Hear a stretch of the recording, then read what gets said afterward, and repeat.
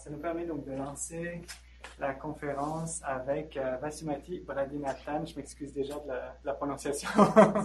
J'imagine que c'est tout autrement euh, quand on le prononce dans la langue d'origine. Vous n'êtes pas loin. Pas loin.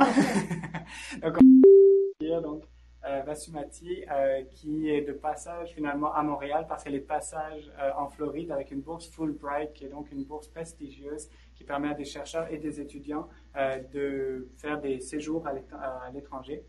Alors, Vasumati est responsable du département de français à l'université de Mumbai en Inde. elle a fait un doctorat à l'université de Lille en France. Bonjour Claude. Et elle également donc euh, elle, euh, également, elle donne des formations donc euh, continues, des formations initiales aussi aux enseignants en FLE. C'est une figure du FLE en Inde. Et donc, on a la chance de la voir pour nous parler d'un contexte extrêmement pertinent, celui de l'Inde, où il y a énormément de cultures, énormément de langues variées. Et je pense que l'idée, c'est de parler de la compétence plurilingue et de comment on démêle ça en contexte indien. Ça va être fort intéressant de voir la compétence plurilingue abordée avec cette perspective-là et puis de faire des liens avec notre contexte à nous au Québec qui est tout autre, mais qui va sans doute se recouper à certains moments. En tout cas, j'ai hâte de le savoir. Alors, Bassimati, merci beaucoup. Et puis, on t'écoute. Merci beaucoup, euh, Simon.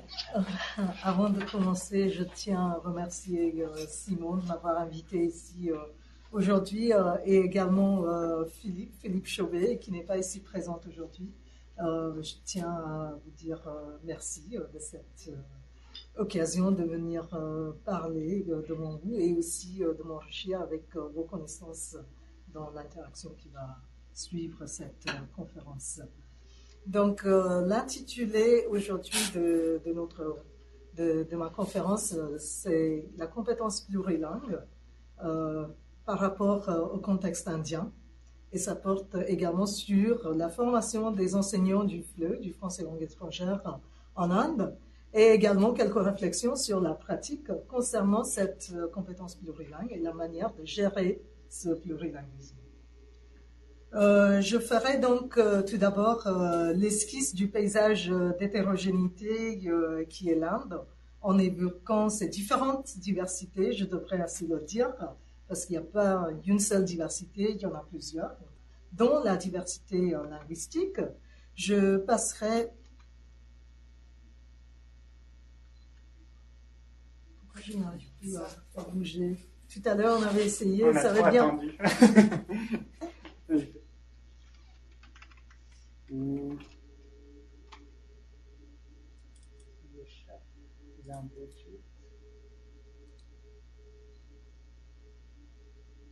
C'est lui qui me bloque. Arrêtez de partager le romain parce que sinon. Tout à l'heure, ça va bien marcher. Suivant. Ok. C'est bon.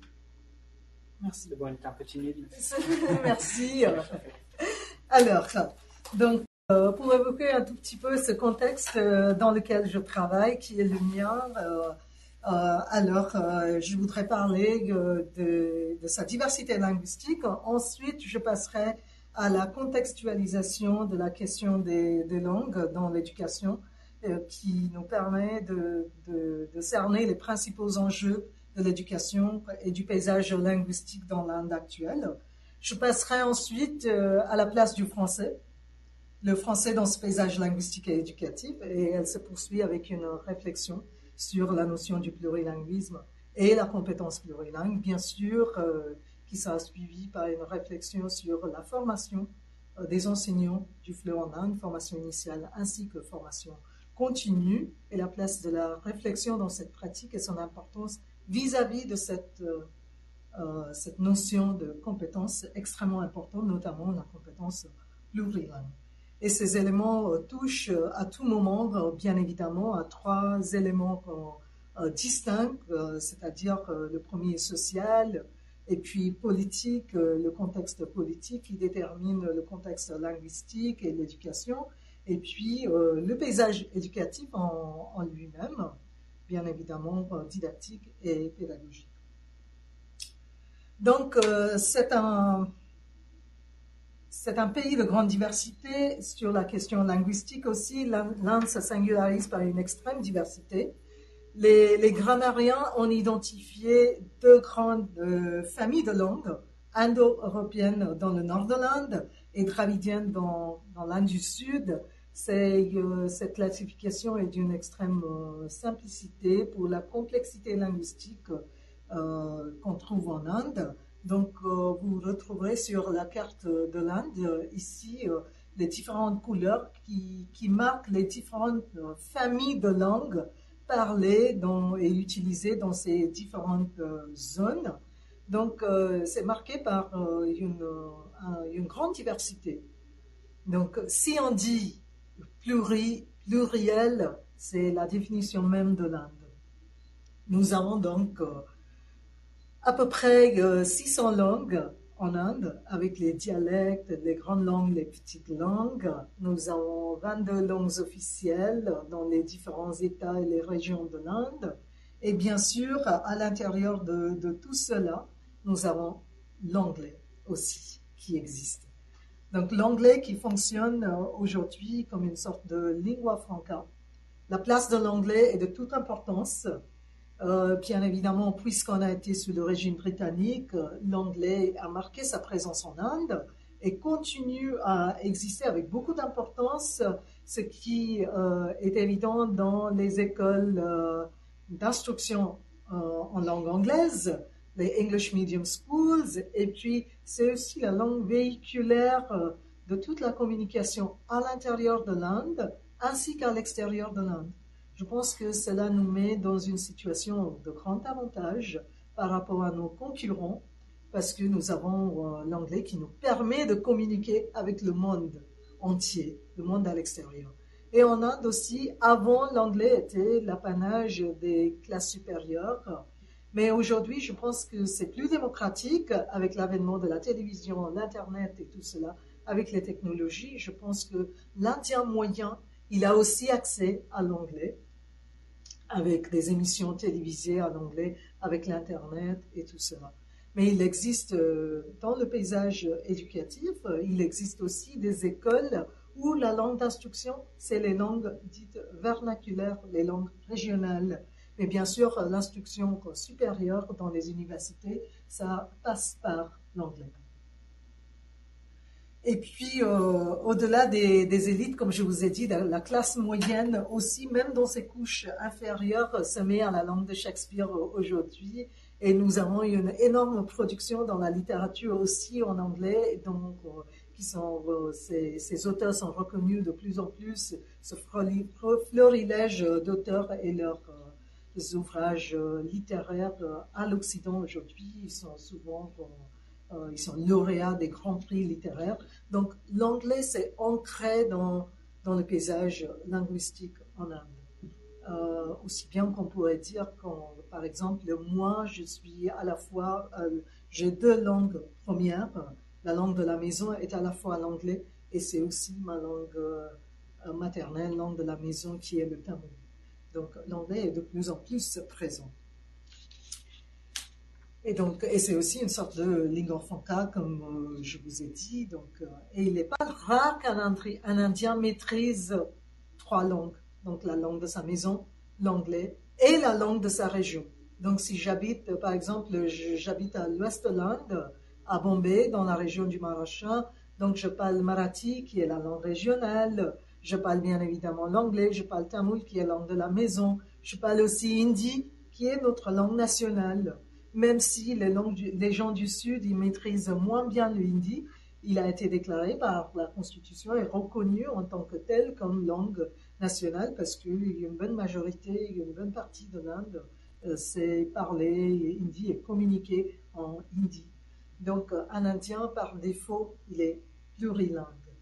Et les gens, ils savent parler beaucoup plus d'autres langues aussi, selon la situation euh, dans laquelle euh, on se trouve, euh, le, domaine professionnel dans lequel on, exerce. Et puis, si on apprend des langues étrangères, donc ça se rajoute à ce pluralisme linguistique. Et le français dans tout cela. Donc, je devrais sans doute parler de la langue française parce que je suis prof de français du français langue étrangère. Donc, quelle est la place des langues étrangères dans ce paysage si hétérogène linguistiquement parlant? Dans le système, euh, euh, donc en Inde, la langue française occupe la place de la première langue étrangère. Je pourrais évoquer aussi la présence d'une francophonie résiduelle et la présence d'une francophonie éducative.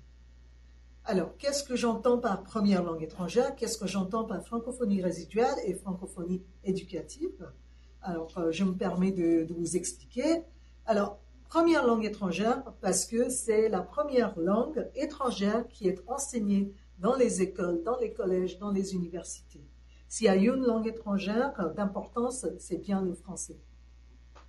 Si vous allez, si vous regardez à côté des écoles euh, en Inde, s'il y a une langue étrangère, c'est souvent le français. À Bombay, c'est toujours le français. Et maintenant, petit à petit, depuis euh, les années 80, euh, le français commence à perdre un peu de sa place dû à la vague de régionalisation, l'importance des langues régionales, la guerre, le conflit malheureusement des langues. Donc, euh, le français et les langues étrangères en général ont une place un peu défavorisée par rapport aux années précédentes. Mais en même temps, je devrais dire que la langue étrangère, si on a une, c'est souvent le français. Donc, euh, c'est pour ça que c'est la première langue étrangère enseignée et apprise dans les écoles et puis dans les collèges, euh, l'équivalent des, lycées et dans les universités. Bien évidemment, il y a d'autres langues dans lesquelles on peut se spécialiser. Euh, francophonie résiduelle, parce que les Français sont restés en Inde, dans le, dans le sud, donc il y a eu euh, euh, quatre comptoirs dans l'Inde du Sud et un comptoir à l'est de l'Inde, et qui, qui, sont restés des territoires des Français en Inde, qu'on appelait l'Inde française à l'époque. Et donc, le, le, français est resté bien important dans ces régions pendant le régime des Français, pendant la présence des Français, et même après le départ des Français. Euh, il y a eu cette francophonie qui s'est installée notamment à Pondichéry, qu'on appelle maintenant euh, baptisé euh, Puducherry. c'est un retour à son nom d'origine. Donc Pondichéry est la, ville, la région qui reste la plus francophone par rapport aux autres comptoirs. Il y a même un institut pour franco-indien pour promouvoir les recherches et les relations franco-indiennes. Et il y a également un lycée à Pondichéry. Il reste des vestiges. C'est pour ça que j'appelle que c'est une francophonie résiduelle. Ça n'a plus la même importance, la même position qu'avant. Avant, c'était aussi la langue parlée dans certaines familles, dans certaines, certains foyers. Euh, sa place euh, se diminue euh, petit à petit. Beaucoup de Français à l'époque sont partis en France avec la nationalité française les familles qui restent euh, avec les troisième, euh, quatrième générations, c'est petit à petit un affaiblissement de la langue française. Mais quand même, il reste cette francophonie qui est évidente. Si vous allez dans, la région de Pondichéry, vous allez retrouver des noms de rues francophones, euh, des petits cafés français et aussi avec le village Auroville qui s'est construit autour de Pondichéry. Donc il y a quand même une présence française peut-être beaucoup moins forte qu'avant, mais quand même, il y a une francophonie qui continue à exister, que j'appellerais résiduelle. Et puis, nous avons la francophonie éducative. Donc, euh, comment est-ce que l'éducation en français, ça se transmet? Nous avons les écoles indiennes, les écoles subventionnées par l'État et les écoles privées où le, français est enseigné. Et euh, nous avons les universités, nous avons toute cette structure euh, indienne. Et que ces dernières années, on a vu aussi l'avènement des, euh, des écoles internationales. Donc, ce sont des écoles privées qui ont un partenariat avec les certifications internationales et qui donnent une place importante aux langues étrangères, y compris le français. Nous avons également à partir euh, de, de, ces, à côté de ce réseau indien, nous avons aussi le réseau franco-indien représenté par les alliances françaises en Inde. Nous avons plus d'une vingtaine d'alliances françaises où la langue française est enseignée et apprise. Et euh, nous avons des importances, euh, des, des, formations mises en place par des départements universitaires comme euh, comme mon université à moi, mon département à moi, et également l'ambassade qui envoie euh, des tuteurs en français, francophones, dans des départements pour promouvoir la langue française, pour, euh, créer une, présence venant depuis la France dans les départements, ce qui donne une autre couleur et qui est bien bénéfique pour l'apprentissage et l'enseignement du français.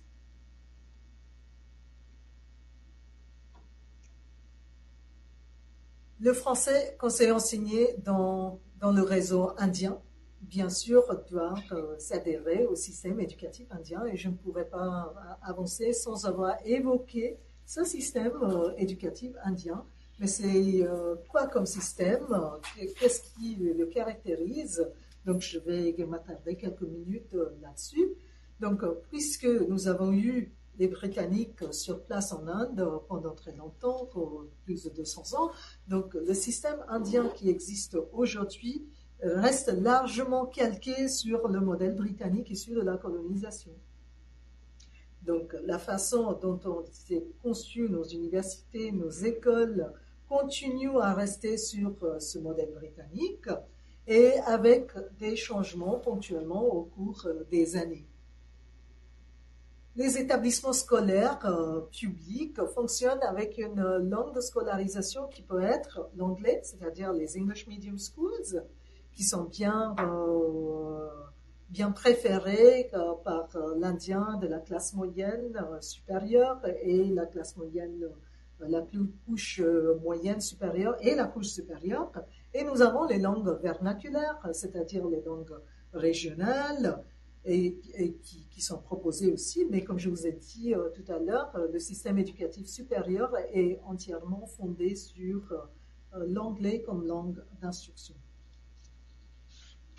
Et l'anglais est bien sûr reconnu comme une nécessité pour, pour la réussite sociale ainsi que professionnelle. C'est aussi la langue d'enseignement dans les universités, dans les collèges où c'est la langue d'instruction.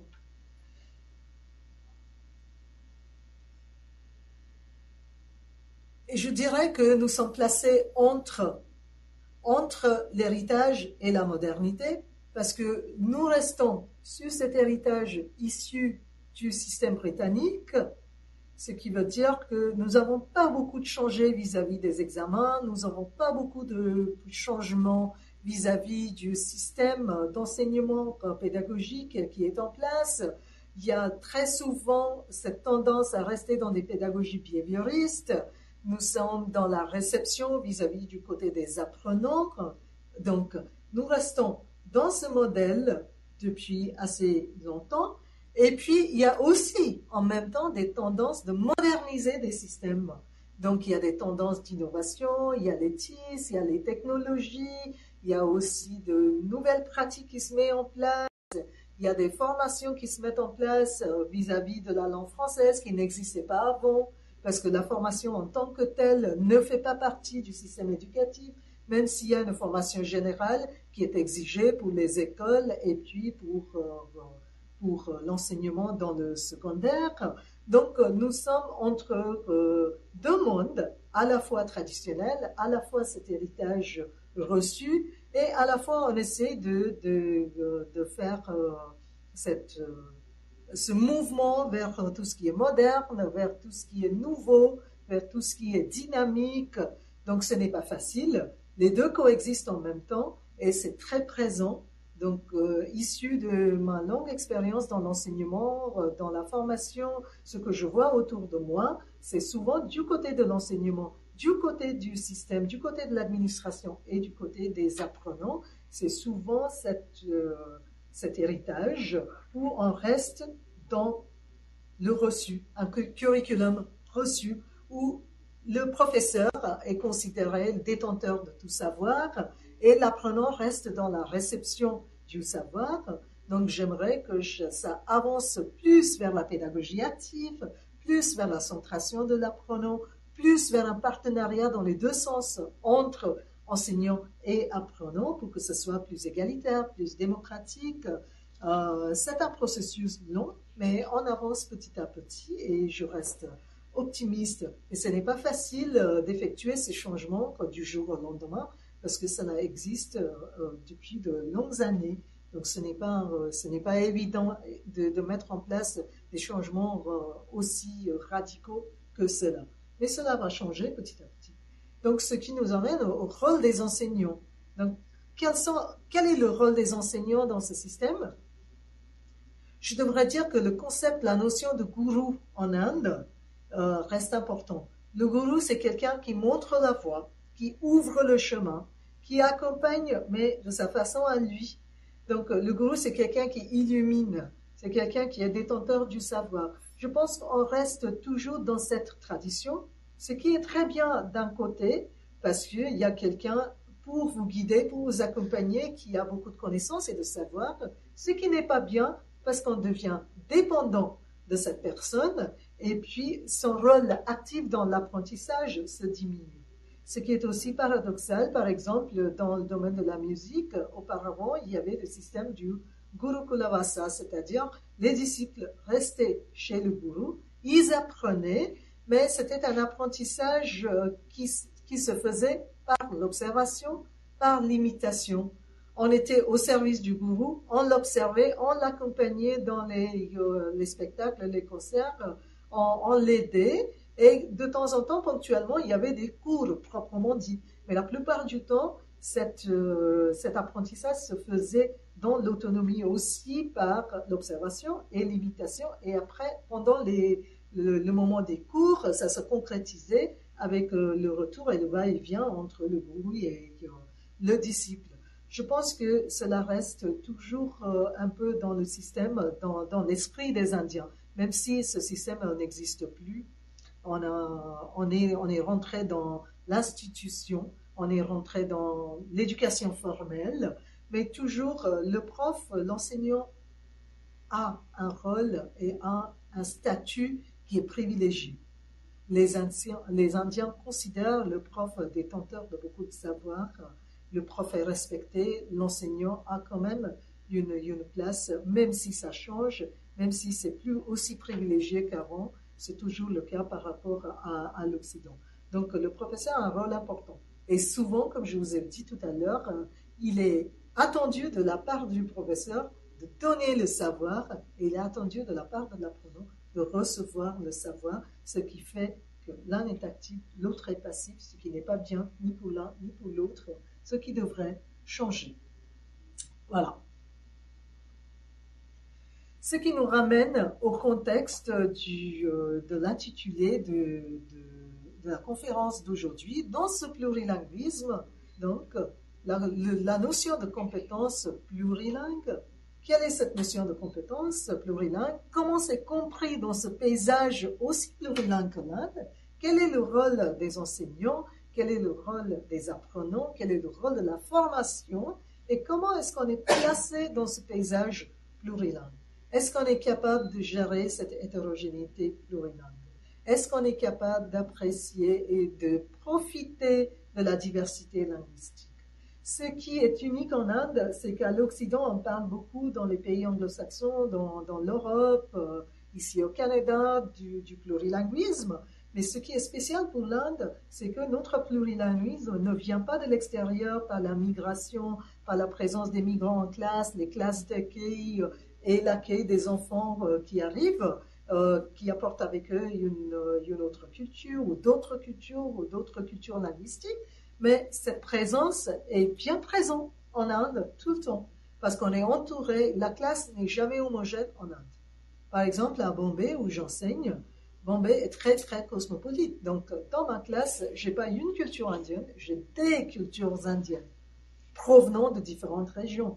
Bien sûr, des gens installés en Inde, mais qui vivent et qui gardent avec eux leur culture venant des différents côtés euh, de l'Inde, et leur langue à eux. Donc, euh, j'ai un groupe d'étudiants qui parlent de différentes langues chez eux, même si le français ou l'anglais nous réunit tous avec euh, euh, l'objectif comme d'apprentissage, la visée d'apprentissage. Mais à la maison, on parle d'autres langues.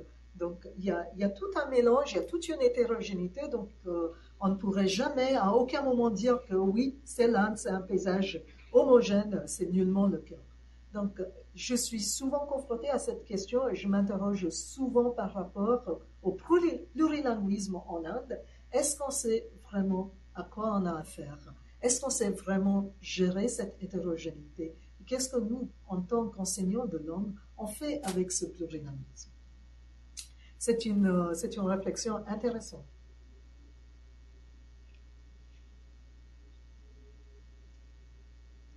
souvent, comme dans beaucoup de pays, c'est aussi, ça fait objet de, conflits. Donc, malheureusement, pour l'instant, il y a, il y a, comme dit euh, des, euh, chercheurs, il y a langue de contact ou il y a langue de conflit. Souvent, les langues, malheureusement, sont source de conflit. Donc, en a, ce qui se passe en ce moment, c'est qu'il y a pas mal de tensions entre les langues, ce qui fait que la politique linguistique évolue et les langues étrangères sont petit à petit chassées dans les écoles pour créer la place pour les langues, euh, les langues régionales. Par exemple, quand j'étais à l'école, j'avais le choix d'apprendre le français, et heureusement d'ailleurs. Maintenant, dans cette école, le français n'existe pas, ou bien existe comme un petit choix où les langues obligatoires, c'est les langues de la région.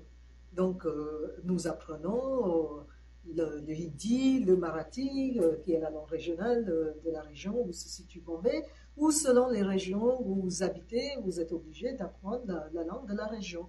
Ce qui est très bien, mais en même temps, ça, ne crée pas beaucoup de place pour euh, les langues, pour l'apprentissage des langues étrangères. C'est une situation un peu paradoxale parce qu'avec la politique linguistique des trois langues, formule de trois langues qui existent en Inde, ça crée à la place cette ouverture vers les langues étrangères, mais en même temps, les politiques qui existent ferment les portes aussi.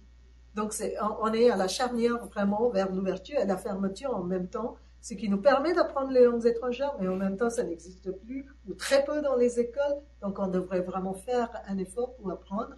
Et puis, il y a trop de pression sur euh, euh, l'étudiant pour apprendre ces langues, pour avoir une bonne performance, parce que nous, nous existons quand même dans un système éducatif que j'ai oublié de vous dire, qui est beaucoup axé sur la performance et les examens.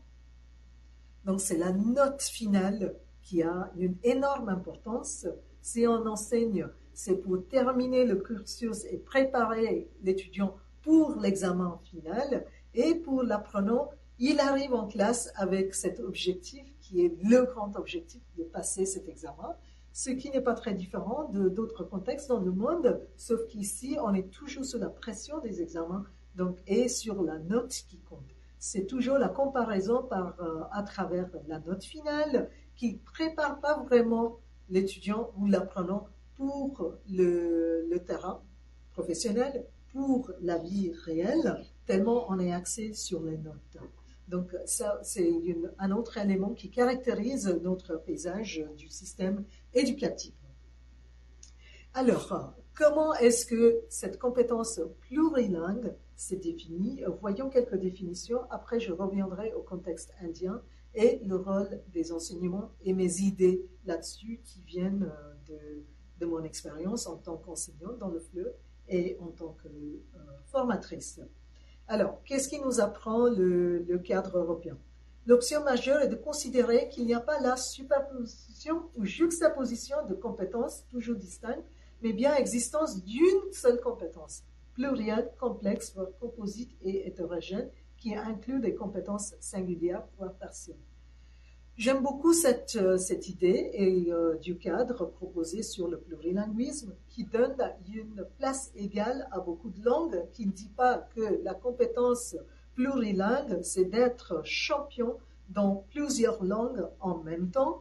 Et nous, en tant que prof du fleur, nous, on est euh, énormément guidés par le cadre parce qu'on enseigne une langue européenne.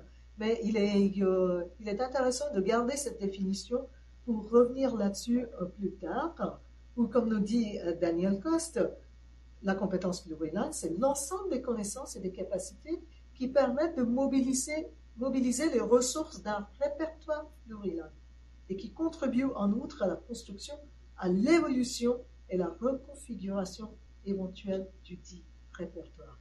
Donc euh, déjà, c'est créer la place à un répertoire linguistique. Je pense que c'est extrêmement intéressant de considérer euh, cette définition de la compétence plurilingue en ces termes-là, parce que c'est à la fois démocratique, ça crée de la place à plusieurs langues en même temps.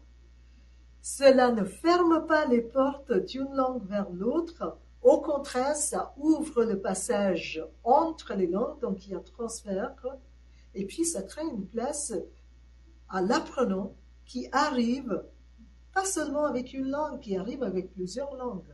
Donc, quelle est cette compétence plurilingue? Ce n'est pas la compétence qui existe chez une personne qui est capable de maîtriser le français, l'anglais, le québécois, ou bien le français dans ses variantes, ou le bengali, ou le hindi avec le même niveau de confort et de maîtrise, mais c'est exister et coexister avec toutes ces compétences qu'il y a et de trouver comment utiliser une langue au profit de l'autre. Je pense que c'est une définition parfaite pour le contexte dans lequel je travaille, le contexte qui est le mien, c'est-à-dire qui, qui, est l'Inde. Donc, souvent, je m'interroge sur les liens de cohérence qui existent entre les différentes langues qui coexistent en Inde et comment on fait pour coexister avec ces langues et quelles sont les répercussions sur le système éducatif et l'apprentissage langues. Ces définitions, qui ne sont pas nouvelles, nous montrent déjà qu'il existe des ressources linguistiques, qu'il existe un répertoire. Je viens en classe avec mon répertoire ou bien mes répertoires linguistiques. Chacun de mes étudiants vient en classe avec ses répertoires linguistiques. Et il y a cette définition créée aussi, comme je vous ai dit, cette place pour l'interconnectivité entre les langues. J'adore ces définitions, comme je vous ai dit, c'est démocratique et aussi c'est une acceptation qui est très très belle à l'existence, la coexistence plutôt. Parce que l'existence, ça peut être très cloisonné, mais c'est la coexistence euh, entre plusieurs langues et les transferts qui sont possibles d'une langue à l'autre, savoir aussi apprécier quelles sont les différences, quelles sont les similitudes entre ces langues. Je pense que c'est justement ce qu'il nous faut en Inde en ce moment, parce que si on regarde euh, le paysage éducatif, le paysage euh, plurilingue, tout le monde reconnaît qu'il existe plusieurs centaines de langues en Inde. Mais quand je vois le système éducatif, c'est tellement cloisonné. C'est tellement une langue et l'autre qui existent, l'une à côté de l'autre, mais pas une langue avec l'autre. Donc, c'est justement cette circulation qu'il faudrait créer, c'est justement mettre au profit de l'enseignement et de l'apprentissage cette notion de, de compétence plurilingue qui permettrait une conception non linéaire des langues. Je me permettrai d'illustrer le plurilinguisme individuel indien à l'aide d'un exemple par le sociolinguiste indien Pandit, dans les années 70, où il décrit un, homme d'affaires, un homme d'affaires ordinaire euh, indien, qui pratique euh, le commerce des épices à Mumbai, anciennement Bombay. La langue première de cette personne est le gujarati. Dans sa vie de famille, il utilise le katyavari, qui est une variété du gujarati parlé dans, dans la région du Gujarati. C'est une communauté à part de, vendeurs de marchands. À la gare, il parle le hindi. Avec les vendeurs dans la rue, il parle le marathi. Lorsqu'il prend le train de banlieue, parfois il parle le hindi, parfois il parle le marathi. Dans son commerce d'épices, avec les autres commerçants, ses collègues, il se sert du kati, qui est la langue associée au commerce des épices. Durant ses loisirs, il se rend au cinéma pour voir des films en hindi. Il lit également le journal en Gujarati, qui est dans sa forme standard du Gujarati, dans, dans laquelle il a eu son éducation secondaire. Et il pourra aussi de temps en temps regarder un film en anglais et aussi suivre des commentaires en anglais d'un match de cricket à la télé. Donc c'est intéressant parce que voilà un exemple typique d'un homme ordinaire dans une ville cosmopolite comme Bombay qui, a avec lui et qui est entouré de plusieurs langues qu'il utilise dans son quotidien avec euh, une, aisance euh, plus ou moins à apprécier. Il ne maîtrise peut-être pas toutes les langues, mais il s'en sert pour communiquer et ça fait partie de sa vie euh, quotidienne. Cet exemple est instructif, cet exemple est intéressant pour nous à, plusieurs titres.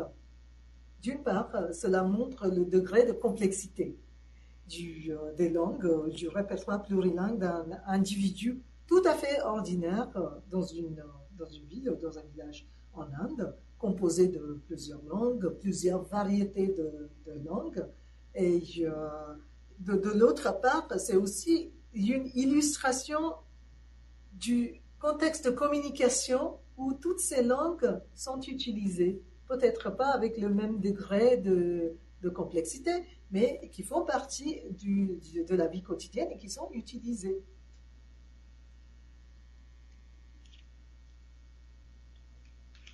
C'est intéressant de. Euh, j'ai choisi cet exemple parce que cela montre comment les langues coexistent, non pas comment les langues existent. Alors, en tant qu'enseignante, en tant que formatrice, je suis très concernée par ce plurilinguisme dans la classe. Est-ce que je l'utilise? Est-ce que je pourrais vraiment tirer profit du répertoire de ressources linguistiques qui existe dans mes cours? J'ai des étudiants qui parlent le bengali, j'ai des étudiants qui parlent tamoul, j'ai des étudiants qui parlent anglais, qui est leur anglais, euh, l'anglais qui est la langue de maison. J'ai des étudiants qui parlent marathi, qui est leur langue maternelle, la première langue utilisée à la maison. Euh, on a aussi des apprenants qui parlent hindi à la maison. Et on a des apprenants qui parlent beaucoup d'autres langues, qui viennent du nord-est et qui parlent les langues de la région. Donc il y a toutes ces richesses en classe. Mais ce que je vois d'habitude, c'est le cloisonnement, que chacun reste dans ses compartiments. Il n'y a même pas de va-et-vient entre les départements de langue. Donc chacun est donc cloisonné dans, cette, euh, dans son monde des langues. Il n'y a pas de transfert entre les langues. On n'arrive pas à apprécier la beauté de ces, euh, de ces, de ces présences plurilingues. Donc comment créer ces compétences plurilingues en Inde, comment se détacher de cette conception linéaire? Donc c'est souvent très additif. Je connais la première langue, je connais maintenant langue 2, maintenant je vais procéder à l'apprentissage de langue 3, ensuite langue 4, mais qu'est-ce que je vais faire avec ces quatre langues? Ça va exister l'une à côté de l'autre, il n'y a pas de contact entre les langues. C'est souvent, c'est très dommage parce que nous avons une richesse énorme dans la littérature, dans les cultures de toutes les langues. Nous avons hindi, nous, avons la même culture en marathi, mais alors que la, la, langue française ne les utilise pas et vice-versa. On pourrait déjà commencer dans l'enseignement par avoir plus de collaboration entre les départements pour se servir l'un de l'autre, pour se servir de la construction euh, des, langues pour voir quelles sont les stratégies qui sont utilisées pour la lecture d'Indi. Est-ce qu'on pourrait s'en servir dans la lecture en langue française ou quelles sont les différences dans les phonèmes ou la façon dont cela fonctionne? Souvent, on parle d'interférence. On dit On n'arrive pas à prononcer un mot en français comme ça parce qu'il y a l'interférence de telle ou telle langue. Et c'est très évident rien qu'entendre euh, quelqu'un qui parle, qui s'exprime dans une langue, on sait euh, de quel euh, groupe linguistique il vient parce que l'accent est présent, parce que tel ou tel mot n'est pas prononcé de la bonne, façon, ou on a l'impression qu'on entend un français mais on entend une autre langue. Donc souvent, ce n'est pas très positif. Quand on dit interférence, c'est on pénalise, on sanctionne. Interférence, ça a une connotation plus ou moins négative. Donc si on pouvait écarter cela pour étudier quelles sont les différences, pourquoi telle ou telle langue fonctionne de cette façon, pourquoi on n'arrive pas à prononcer un tel mot de la bonne façon, parce que dans la langue euh, quotidienne, dans la langue de la maison, dans la langue première, ça se fait de cette façon-là, et c'est pour ça que le système phonatoire ne fonctionne pas de la même manière. C'est ce type de compétences que j'aimerais introduire euh, auprès des enseignants du fleuve, auprès des enseignants des langues, pour qu'ils puissent vraiment profiter de ce plurilinguisme pour euh, réussir à une véritable compétence plurilingue. Ce n'est pas dire qu'on va procéder dans cette conception linéaire et additive d'une langue après l'autre, mais plutôt dans une vision euh, qui est intégration, pas juxtaposition, comme on a vu tout à l'heure dans, dans, les, euh, dans les définitions. C'est intéressant parce que c'est pluriel et unitaire à la fois. C'est une compétence, mais c'est plusieurs compétences en même temps. C'est savoir, oui, gérer plusieurs langues en même temps. C'est aussi comprendre comment les langues fonctionnent. C'est aussi une place à la beauté des langues. Malheureusement, avec mon expérience, je pourrais dire que il y a les grandes langues et les petites langues, il y a les, il y a les langues qui ont leurs avantages, qui sont l'apanage de tout le monde, comme l'est actuellement l'anglais, et, aussi les langues étrangères. Par exemple, euh, la langue française, c'est considéré, euh, je dirais, psychologiquement supérieur aux langues indiennes, aux langues dites vernaculaires. Quand on dit, vous avez fait votre instruction en quelle langue? En langue vernaculaire, toujours il y a une connotation péjorative associée à ces mots qu'il faudrait absolument écarter.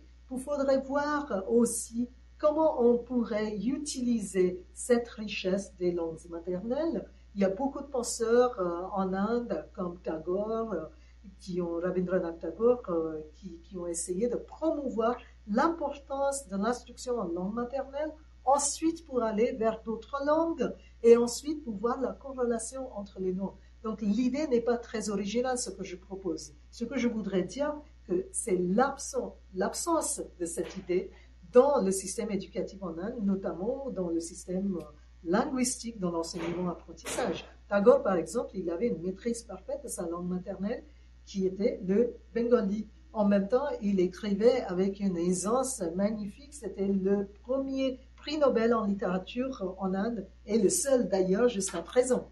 Donc, euh, c'était un homme qui savait faire aller-retour entre les langues et voilà une, une parfaite compétence plurilingue qu'on devrait utiliser. Ce n'est pas autant la maîtrise des langues, c'est, utiliser tous ces répertoires qui viennent en classe avec la richesse des étudiants. C'est savoir les utiliser au profit de l'apprentissage. Moi, je le fais, euh, j'essaie d'utiliser cette dimension dans l'enseignement ainsi que dans les formations pour aider les étudiants non seulement à apprécier tout ce qu'ils ont, mais utiliser ces savoirs au profit de leurs nouveaux apprentissages. Et cela marche souvent très très bien parce que ça fait aussi une réflexion. Ça fait retourner aux, euh, aux langues qu'ils ont déjà, ça fait retourner aux biographies des, euh, des étudiants et aux enseignants, des enseignants aussi.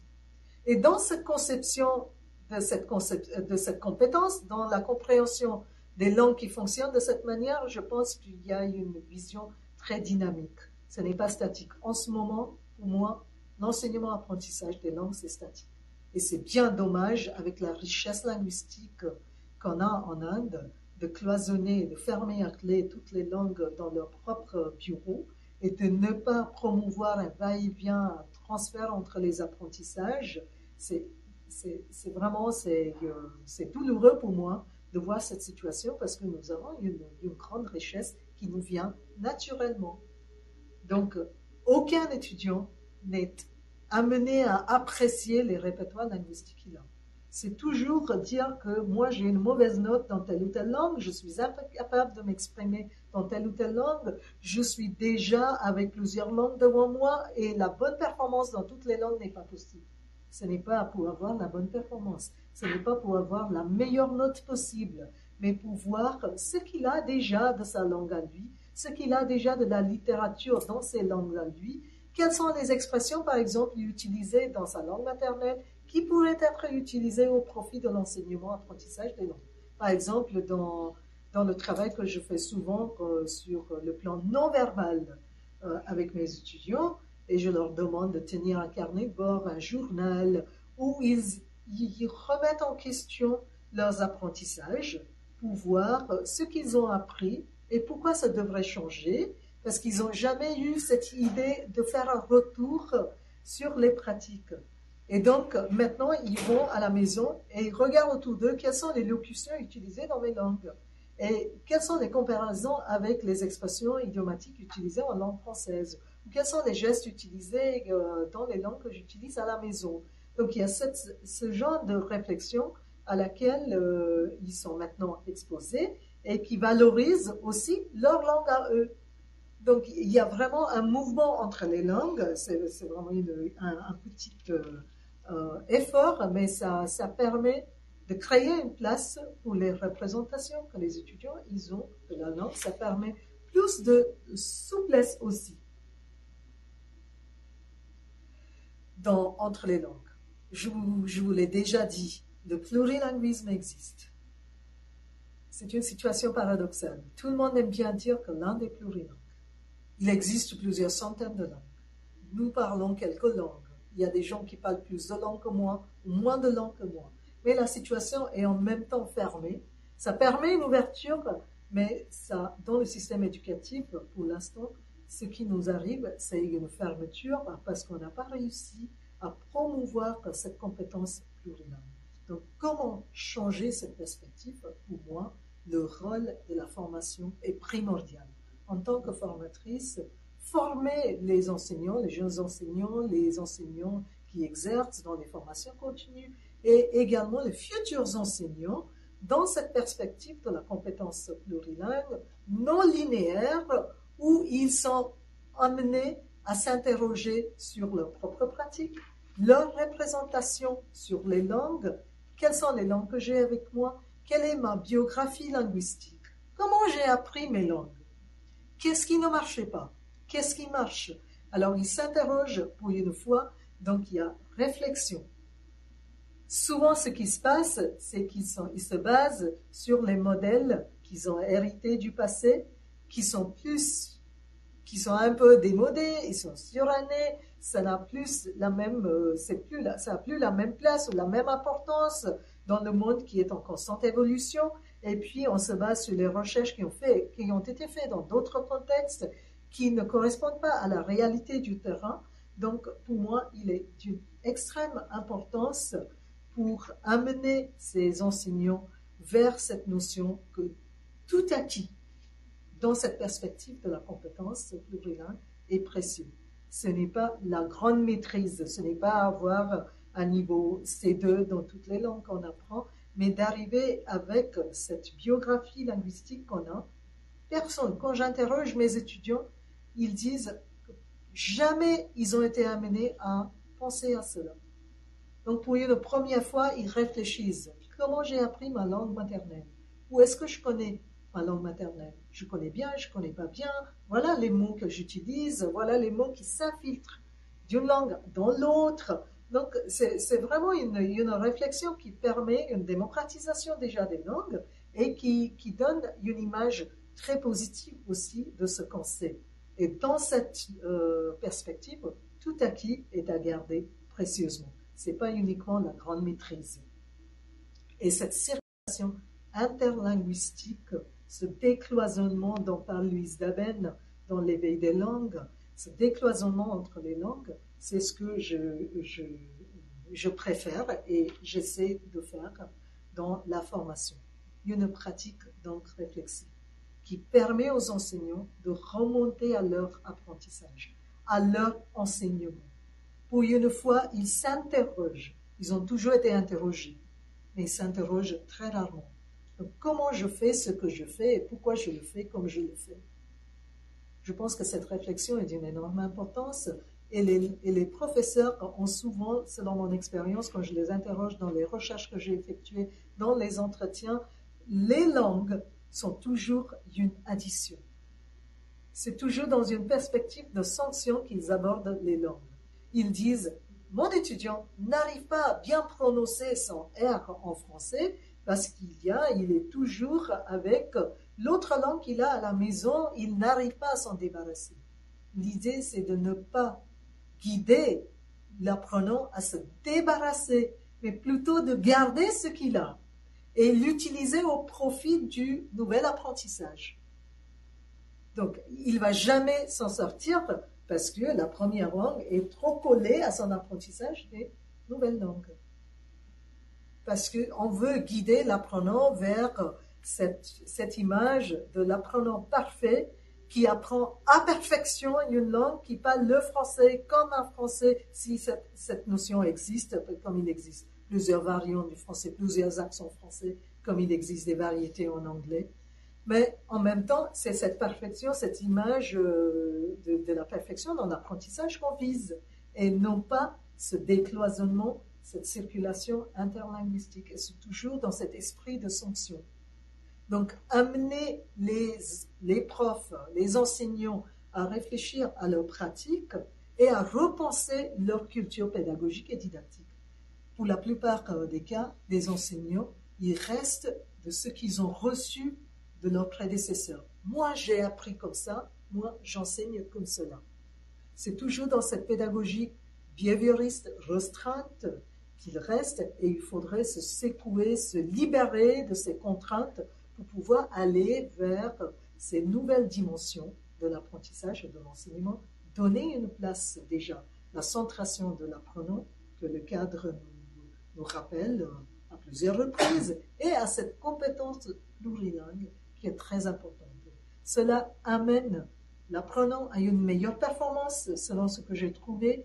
Cela lui donne plus de motivation, cela lui donne une place en classe celui qui n'arrive pas à bien prononcer ces mots en français n'est pas hors de classe, comme traditionnellement il a toujours été, parce qu'il ne figure pas parmi les meilleurs étudiants. Ce n'est pas grave. Mais il arrive avec lui dans la classe des répertoires qui n'ont jamais été privilégiés, qui n'ont jamais été reconnus. Donc c'est toujours dans la sanction, qu'on procède avec cette conception linéaire qu'il faudrait vraiment euh, déverrouiller et ouvrir la porte pour euh, un rapprochement entre les langues qui existent, entre les cultures linguistiques qui existent. Et je pense que dans les petites mesures que j'essaie de, mettre en place, les petits dispositifs phonétiques, je travaille beaucoup sur la phonétique en français, j'essaie de faire cela. Cela marche très souvent. On a aussi des, collaborations euh, avec d'autres langues par exemple le, sanskrit. Euh, rien que d'étudier la grammaire en sanskrit, on n'a pas besoin d'être champion en sanskrit, mais voir comment ça fonctionne, c'est intéressant d'essayer de, voir quels sont les chercheurs qui ont travaillé entre les deux langues. C'est d'une énorme importance. Et bien évidemment, il faudrait aussi mettre en place beaucoup de changements sur le plan du curriculum, sur le plan des cursus, ce qui est beaucoup plus difficile que les pratiques en classe qui restent en vraiment notre contrôle à l'intérieur de nos compétences en tant qu'enseignants, qui est facile à mettre en place. Et se mettre dans cette tradition, cette nouvelle tradition de repenser sa culture didactique et pédagogique, ça permet aussi un retour, une réflexion sur ces pratiques et permet autonomie de jugement, non seulement du côté de l'enseignant, mais aussi du côté de, l'apprenant, ce qui guide vers une autonomisation et puis une réflexion métalinguistique, métaculturelle, décloisonnement des, des langues, comme dit euh, Louise Daben. Et c'est aussi créer une place pour tous les apprentissages qui ne sont jamais reconnus. C'est ce qui est dommage parce qu'on arrive avec tellement de choses en classe et puis on reste avec un seul apprentissage et tout le reste reste marginalisé ou écarté ou oublié, ignoré, sanctionné. C'est ce qu'il faut inclure pour arriver à cette formation, réflexion d'une compétence plurilingue, notamment dans le contexte indien. Étant donné qu'on est plurilingue, on a cette richesse linguistique de favoriser répertoire plurilingue et linguistique de chacun des apprenants en classe, favoriser, promouvoir, apprécier l'interrelation entre les langues, reconnaître et créer une place pour la nature plurielle, intégrative, inclusive de tous les apprentissages qui sont là, et aussi gérer la diversité linguistique d'une façon positive plutôt que dans l'esprit de sanction. Donc, prendre en compte cette, ce plurilinguisme des étudiants, élaborer des approches qui pourraient favoriser cette compétence plurilingue avec une meilleure articulation entre les langues, entre les, euh, les, apprentissages qui existent déjà. C'est à mon avis euh, un des grands défis devant l'enseignement-apprentissage des langues en Inde, notamment des langues étrangères en Inde à l'heure actuelle. Je vous remercie de votre écoute.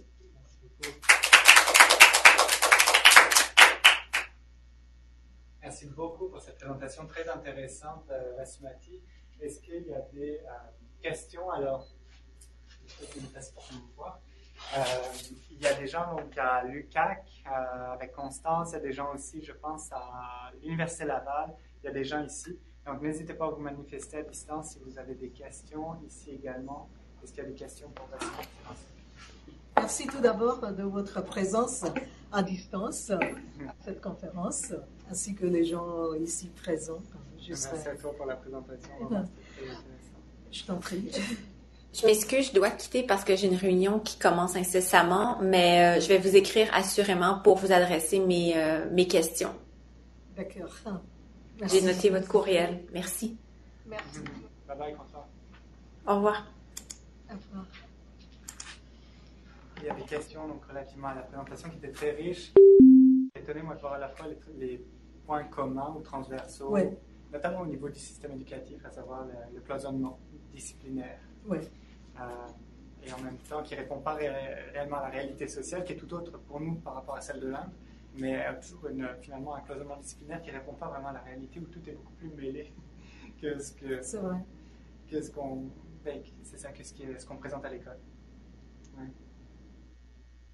Moi, j'avais une question, si personne n'en a, j'aimerais ouvrir le bac, avec notamment, vous avez mentionné les biographies, je pense, linguistiques ou autres, et puis les journaux de bord. Est-ce que vous leur faites faire donc, des biographies langagières? Je ne connais pas trop la méthodologie, mais je crois que c'est un retour sur la langue où on réécrit justement comment on a appris les langues. Oui, c'est. Euh, sous forme de portfolio. Exact.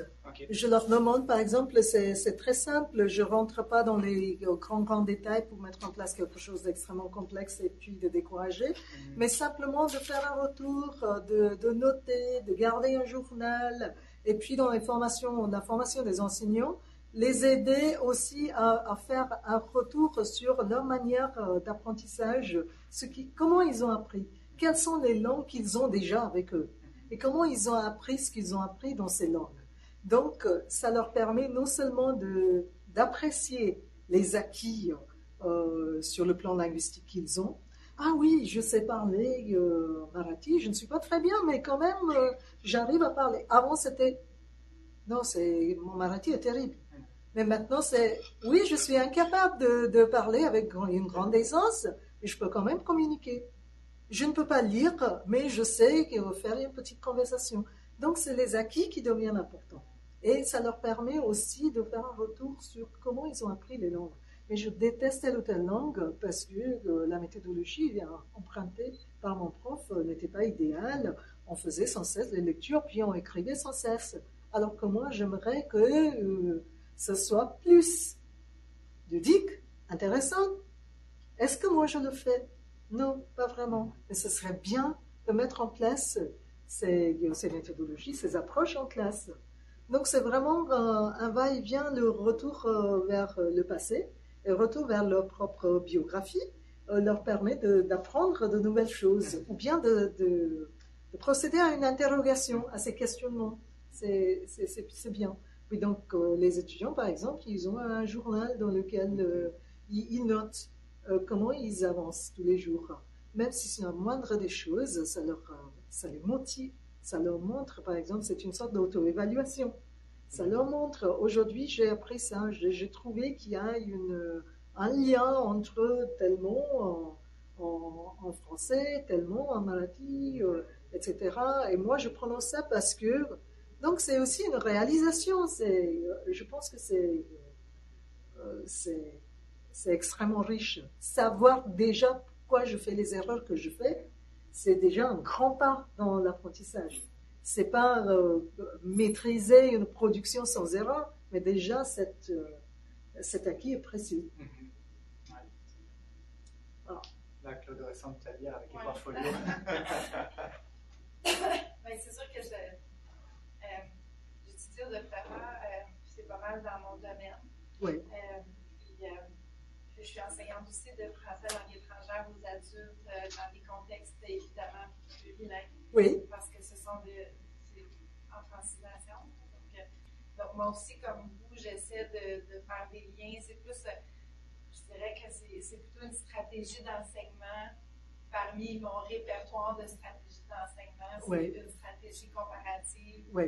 Euh, où je vais te demander, comme vous l'avez fait, euh, comme vous le faites avec vos étudiants, c'est-à-dire est-ce que ce geste-là, par exemple, euh, signifie la même chose? Est-ce qu'il y a des gestes qu'on peut importer dans, euh, dans notre langue, etc.? Ou bien des mots, des locutions, des, des, éléments grammaticaux également. Donc, c'est comme une stratégie d'enseignement parmi un, répertoire, à mon avis. J'ai l'impression qu'en présentant de cette façon-là, à des futurs enseignants ou à des enseignants qui sont dans le milieu, c'est peut-être moins effrayant. Plutôt que d'arriver avec non, maintenant on va tout changer et là vous allez construire toute, votre année entre vous et ça c'est effrayant. Ça fait peur, mais j'ai l'impression que si on présente ça comme ben, c'est une, une, autre stratégie d'enseignement, au même titre que plusieurs autres qu'on utilise, euh, ça fait, peut-être moins effrayant pour faire des, des premiers pas. Absolument. C'est ça, moi, ce qui me choque, c'est que euh, vous avez ces réflexions-là euh, dans un pays où vous avez énormément de langues en présence et vous avez ce souci-là de prendre en considération le bagage linguistique de tout le monde, de, tous les apprenants, peu importe le bagage, le niveau, euh, la qualité du bagage, disons. Tandis qu'ici, on a la présence de l'anglais et du français depuis très longtemps. Ce sont des langues secondes parce qu'on peut avoir accès à l'autre langue en sortant dans notre quotidien. Et pourtant, euh, il n'y a pas de connexion entre les deux langues. Dans aucun milieu, il n'y a aucune connexion. Pourtant, la connexion, c'est facile à établir. On a seulement deux langues, on n'en a pas 56. C'est vrai. Euh, je travaille au ministère de l'Éducation, on essaie de faire ça avec des équipes d'enseignants ça va très lentement. On a seulement quelques équipes. Ça fait trois, c'est la troisième année que le projet mm-hmm. vit. Puis au total, on aura eu euh, une vingtaine d'enseignants et c'est tout en trois ans. Mm-hmm. Très, très, très lent pour essayer de ne pas leur faire peur, essentiellement. Je suis complètement d'accord avec vous. C'est utiliser cette stratégie parmi euh, les plusieurs stratégies euh, qu'aura l'enseignant. C'est aussi euh, mettre l'apprenant à l'aise. C'est moins effrayant. En fait, pendant longtemps, la didactique des langues, didactique du FLE, avait toujours sanctionné l'utilisation de la langue maternelle en classe de langue étrangère. Donc, langue maternelle, c'était tabou. C'était quelque chose de mauvais qu'il faudrait pas faire entrer en classe de langue. Je n'oublierai jamais pendant une formation, une fois que j'avais demandé aux enseignants euh, leurs avis sur les approches d'enseignement, et puis il y avait une prof qui m'avait dit, mais j'ai une collègue à moi qui écrit en hindi au tableau. Est-ce qu'on peut imaginer? Elle écrit la prononciation en hindi au tableau. Donc c'était tout de suite quelque chose à éviter, c'était quelque chose de très mauvais, c'était vraiment catastrophique de faire entrer la langue maternelle en classe de langue, alors que trouve, tout de suite, instinctivement, j'ai dit, mais aucun mal, où est le mal?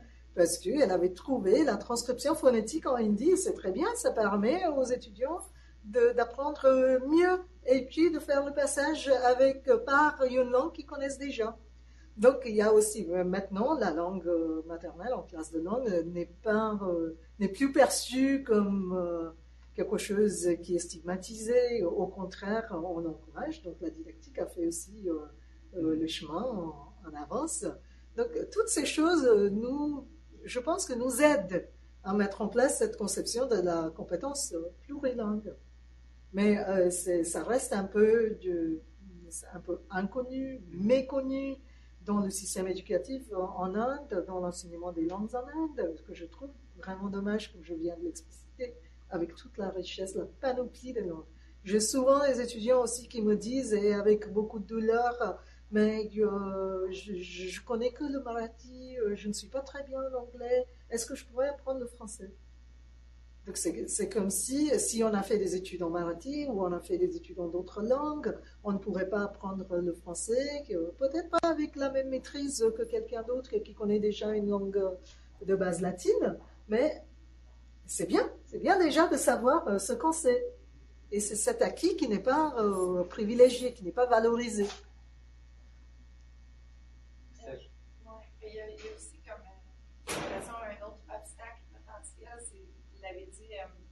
par rapport au de l'enseignant en Inde, c'est-à-dire l'espèce de privilège qui est associé, le, transmetteur de savoir, etc., ça donne, ça, ça, fait en sorte que l'apprenant n'a pas le droit d'avoir un savoir qui est pertinent ou qui est valable, alors que s'en aller vers une approche comme ça, ça sous-entend qu'on fasse confiance à l'apprenant, à son bagage, à sa capacité réflexive, c'est-à-dire, même si moi, comme enseignant, je ne connais pas la langue euh, auquel l'apprenant veut référer, je peux lui faire confiance parce qu'il est capable de me dire ce qu'il comprend de cette langue-là et je peux lui faire confiance. Je n'ai pas besoin de dire euh, que, que je ne suis pas d'accord parce que, parce que je ne sais pas, dans le fond.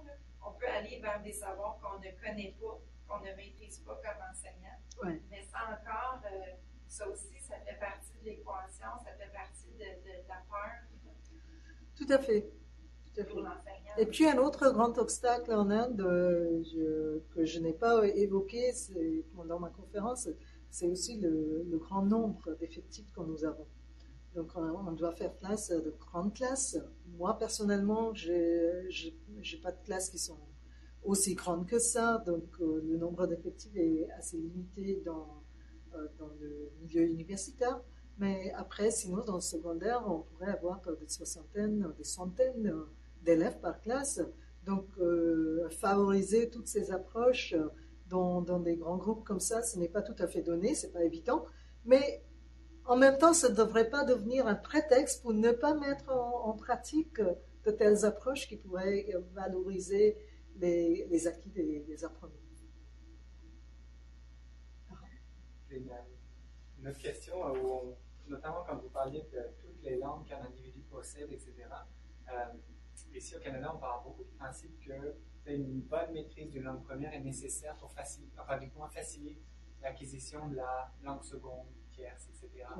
Euh, est-ce que, donc je me demandais, étant donné la pluralité de contextes dans lesquels ils utilisent différentes langues, est-ce que tous les, vos élèves, par exemple, ont une langue première qu'ils maîtrisent très bien, par exemple, oral, écrit, etc., ou est-ce que justement il y a, les compétences sont euh, dispersées à travers différentes langues, compétences orales, compétences écrites, compétences sociales au niveau oral, compétences, euh, je ne sais pas, éducatives, justement, langue de scolarisation? En fait, euh, justement, les étudiants, ils maîtrisent bien la langue première qui est l'anglais. Donc, ils ont une très bonne compétence à l'oral ainsi qu'à l'écrit. et dans l'éducation, c'est la première langue d'instruction. Donc, ils maîtrisent bien l'anglais. Mais il existe aussi des, euh, des, classes vernaculaires où les étudiants ont eu un apprentissage dans les écoles pendant leur enfance en langue maternelle. Et il existe toujours ce courant de la pensée, même qui est présent dans nos instructions officielles, qui disent que la bonne base dans la langue maternelle est nécessaire, comme nos penseurs l'ont dit, pour aller vers d'autres langues. Mais il faudrait aussi que la pédagogie avance avec cela pour que ce soit efficace. Du coup, ce qui est le cas maintenant, c'est que les étudiants qui sont issus d'une éducation en langue maternelle, en langue vernaculaire, en langue régionale, ils n'arrivent pas à avoir une bonne maîtrise en langue anglaise et du coup, ils se sentent défavorisés plus tard dans le domaine éducatif ainsi que dans le domaine social et professionnel. Donc, il y a ce, besoin d'apprendre l'anglais. Alors qu'auparavant, les, les, écoles étaient bilingues. Par exemple, mon père, qui a plus de 80, 82 ans, il, euh, il avait une, euh, une, éducation bilingue en tamoul, qui est notre langue de maison, et en anglais. Donc il maîtrise parfaitement bien les deux. Alors qu'au cours des années, on a, je ne sais pas pour quelle raison, on a perdu cette compétence d'enseigner et d'apprendre parfaitement dans ce bilinguisme qui n'existe plus. Donc, du coup, les enfants issus d'une instruction en langue euh, maternelle n'arrivent plus à franchir le cas et avoir une bonne compétence en, anglais. Il y en a. Il ne faut pas généraliser, il y en a, mais il y en a beaucoup aussi qui traînent à cause de cela. Mais la plupart de tous mes étudiants à moi, ils ont une, très bonne compétence en, anglais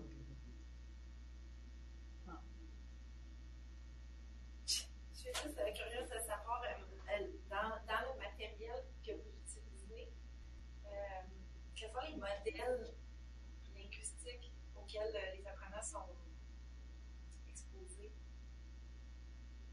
Je veux Est-ce que vous, pourriez expliquer encore qu'est-ce que vous entendez par modèle linguistique ben, dans, le, dans, le, matériel que vous utilisez, est-ce que... Dans manuel, Oui, dans les manuels, bien si vous utilisez du matériel de, authentique, par exemple, quel genre de...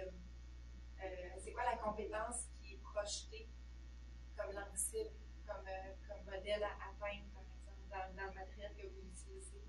Quelles sont les compétences qui sont favorisées, vous voulez dire? Euh, ben, Par exemple, est-ce que vous utilisez du matériel qui vient de France et on entend seulement euh, des Français?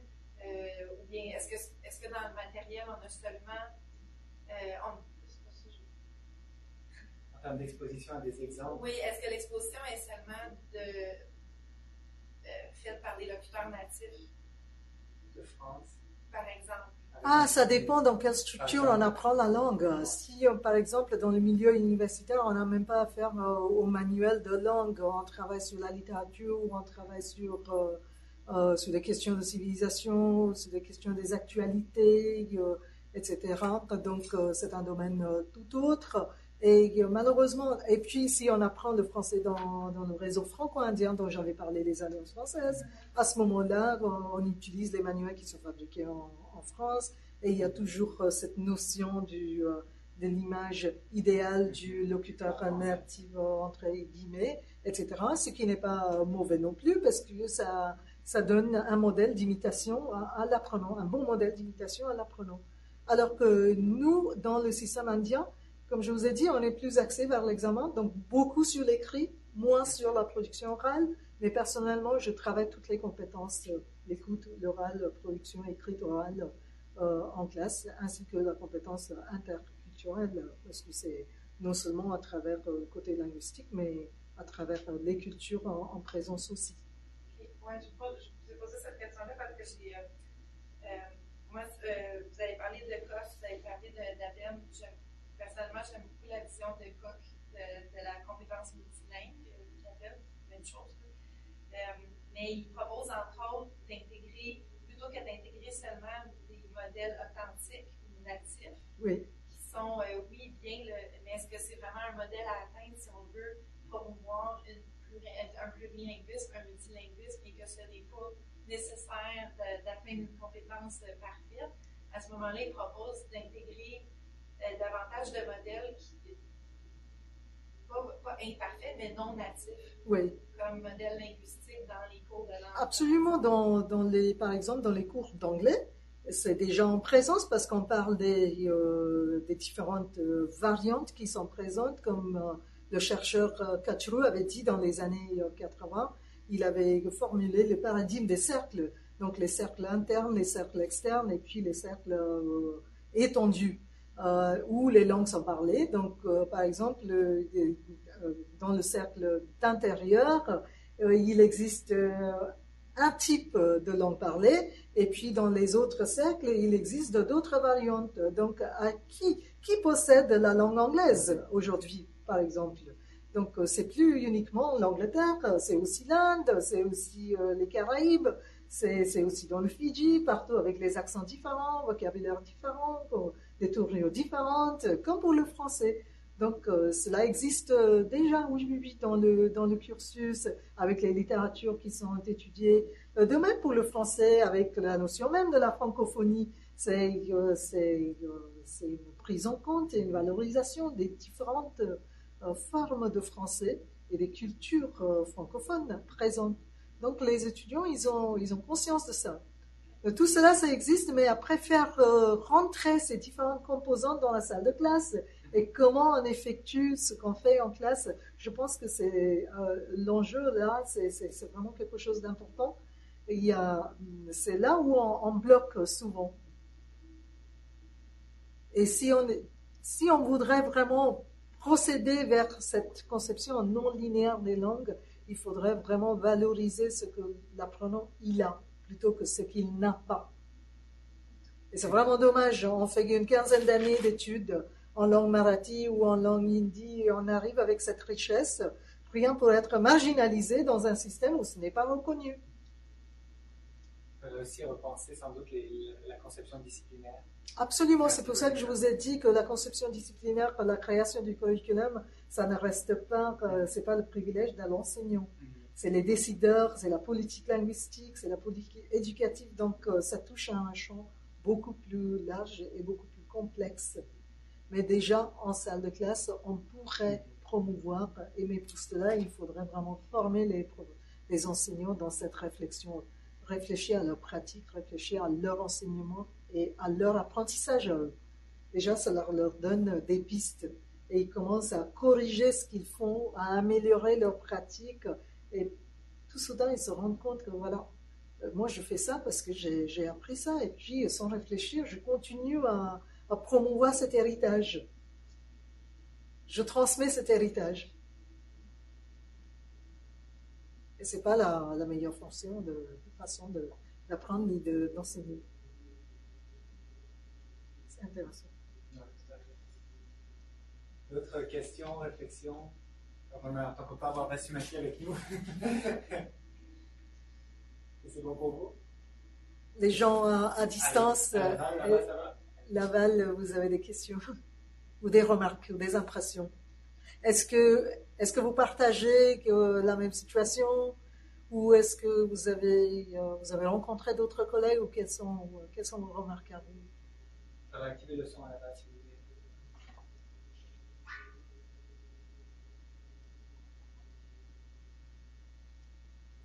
un problème de son. On les entend pas. Laval, est-ce que vous nous entendez? Je pense que... Oui. Oui, ok. Oui, allô? Oui, alors on se demandait simplement si vous aviez justement des réflexions, commentaires ou des parallèles ou non parallèles avec votre, euh, votre expérience. Hmm. Est-ce que vous m'entendez? Oui, très bien. Ok. Euh, ouais, euh, je veux juste dire merci euh, pour ben, la conférence à Madame Basumati. moi, je viens de Seychelles et on vit le français, c'est une langue étrangère. Ben, ça m'a beaucoup intéressé, surtout pour mon mémoire, pour voir euh, comment aider les élèves à, comment dire, à, vraiment euh, essayer d'apprendre la langue française, puisque la langue française, c'est une de nos langues nationales, mais alors que les élèves préfèrent l'anglais. Alors j'ai vu que c'est intéressant. Euh, ça m'a donné des idées vraiment, surtout la partie quand vous parlez de fait d'utiliser c'est-à-dire euh, l'apprentissage d'une langue en, profit euh, de l'apprendre. Comment utiliser l'apprentissage, par exemple, peut-être de l'anglais pour euh, aussi de l'apprentissage du français, les stratégies, etc. Mm. Ouais, c'est intéressant, c'est ça. On n'a pas vraiment, je n'ai pas vraiment de questions, mais c'est juste, c'est intéressant. Ça m'aide parce qu'on vit un peu parce que la même chose aux Seychelles, parce qu'on a trois langues. Ouais. Mm-hmm. Et vous n'êtes pas trop loin de l'Inde non plus Ah non, non, pas du tout. On a beaucoup, euh, en fait, notre culture, bah, bah, c'est les Indiens, les Africains, les Européens. Oui, justement, c'est euh, très intéressant. Euh, dans des, des, pays, des contextes comme ça, où il y a plus d'une langue, ce n'est pas un paysage monolingue, mais on ne sait pas trop quoi faire euh, avec euh, toutes les langues. Donc il y, a, la grande bataille en ce moment entre les gens qui veulent garder les langues régionales. Donc il faudrait afficher tous les panneaux en langue régionale, il faut écarter l'anglais. Mais pourquoi? Et, quelle est la visée? Et qu'est-ce qu'on va, qu'est-ce qu'on va trouver? Qu'est-ce qu'on va réussir en faisant cela?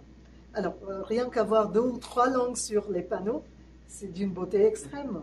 Voir comment les, lettres sont écrites dans une langue ou dans une autre, ça permet à, quelqu'un qui lit cela ou regarde cela d'avoir une perspective des langues tout autre.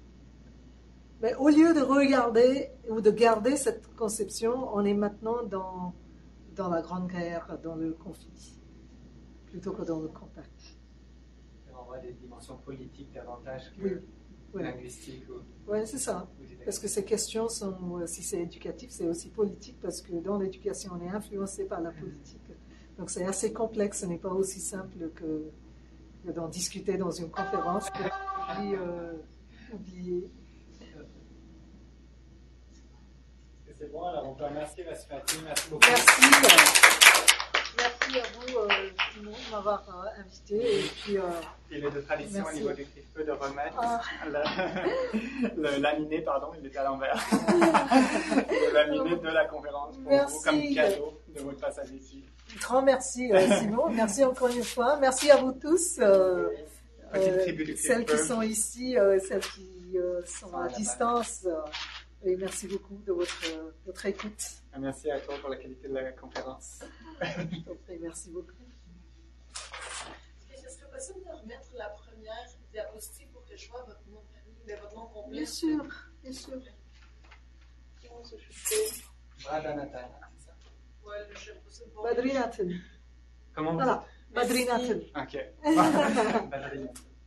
c'est long, c'est compliqué. Merci beaucoup. Je vous en prie. C'est donc euh, bouche de tamoula. De sucre, oui, C'est tamoula. super. C'est vraiment fascinant les échos qu'on a avec nos contextes. Euh, je pense que finalement, il y a pas mal d'universalité oui, dans, dans ces problèmes évoqués. Oui. Et notamment... Sauf que, comme je dis euh, au départ, dans ton contexte actuel, c'est un pays a priori monolingue. Et le plurilinguisme, ça vient des entrées de l'extérieur euh, avec des évolutions euh, socioculturelles, mm. les, migrants ben, qui arrivent. Oui et non, parce qu'en fait, on a, on a le français et l'anglais qui, eux, cohabitent, je veux dire, au quotidien, mais politiquement, non. En fait, oui. au niveau politique, ils cohabitent pas. oui, c'est vrai, avec euh, l'anglais-français, oui. Puis on a les langues, les langues des, des natifs américains, les langues des, des autochtones qui ont une culture et une langue très riche, mais par contre. Mais qui, jusqu'à présent, je, a toujours été marginalisé, j'imagine. Oui, exactement, marginalisé, puis politiquement, tout ça est très cloisonné. Toutes voilà, très cloisonné. Et puis, euh, si on, quand les gens ils parlent du Canada, pour nous, c'est dans l'esprit, c'est un pays monolingue. Ah oui, ok. L'anglais qui domine. Et puis après, il y a euh, la province où le français parle, mm. et c'est tout. Mm, mm. Donc oui, ça devrait, ça, il y aurait potentiel, disons, pour que ce soit, il y ait plus de je pense, le bilinguisme au niveau éducatif, au niveau de tout ça. Mais après, c'est des considérations politiques beaucoup qui rentrent en jeu.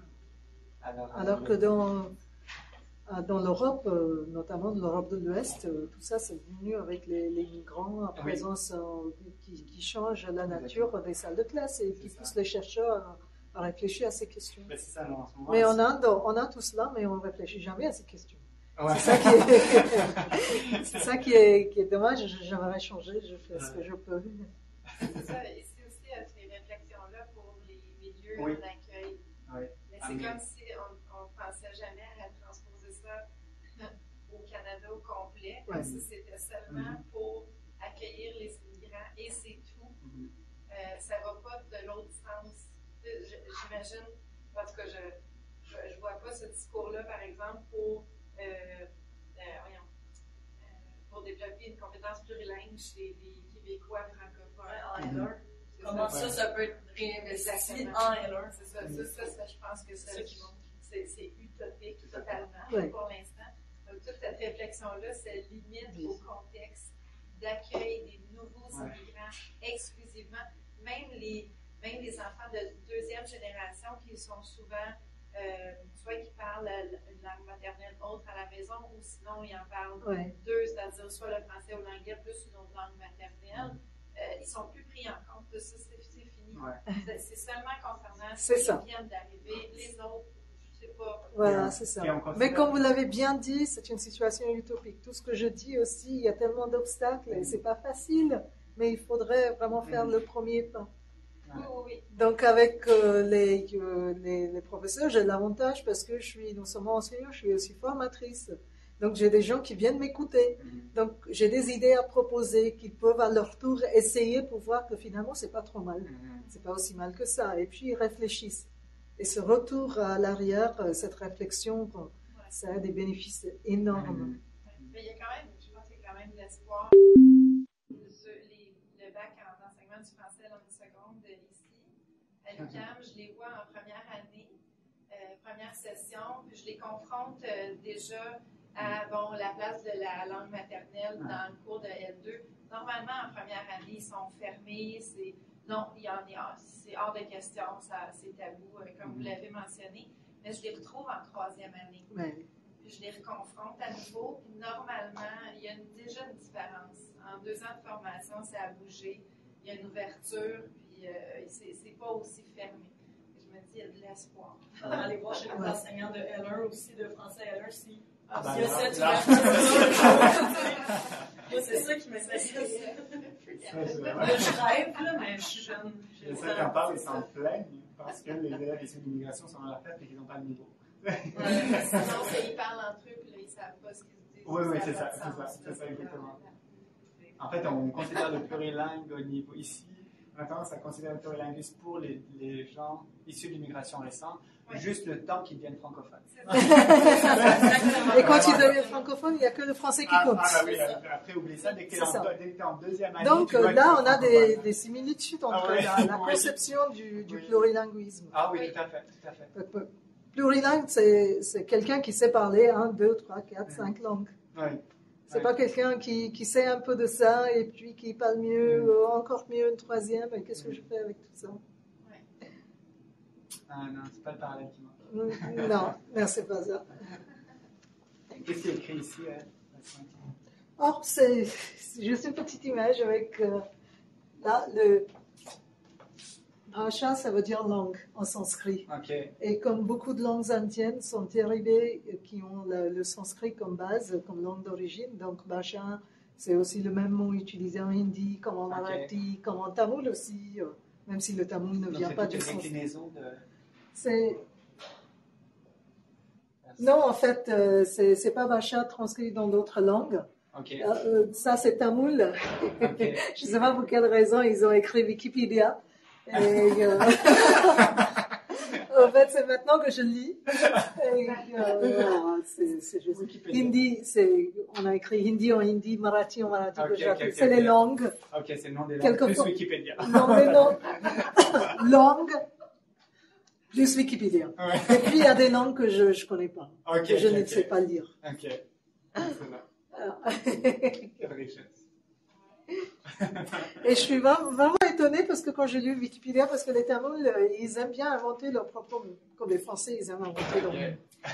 Donc, euh, ils ont un mot pour le portable, je sais. En, ah, oui, ils ne disent pas euh, cell phone ou bien mobile, comme, comme le disent la plupart des gens. Ah dans toutes les langues en Inde, ils utilisent le mot anglais. Mm. Mais les Tamouls, ils inventent les mots, donc euh, c'est vraiment étonnant qu'ils euh, aient décidé d'écrire Wikipédia au lieu d'inventer l'équivalent. Mm. C'était peut-être pas un locuteur de Tamoul qui a fait la Peut-être pas, peut-être pas. Ou bien un mauvais locuteur de Tamoul comme moi. donc merci beaucoup à nouveau, Simon, pour cette, pour cette très jolie. Merci. Je ne sais pas quelle est la.